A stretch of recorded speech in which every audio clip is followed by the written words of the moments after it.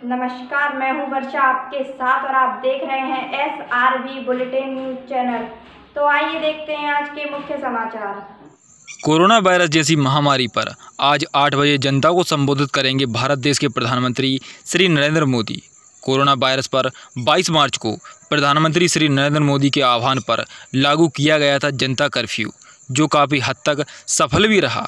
Corona virus जैसी महामारी को हराने के लिए प्रधानमंत्री नरेंद्र मोदी मांग रहे जनता से सहयोग। तो आइए सुनते हैं आठ बजे हमारे देश के प्रधानमंत्री श्री नरेंद्र मोदी के मन की बात।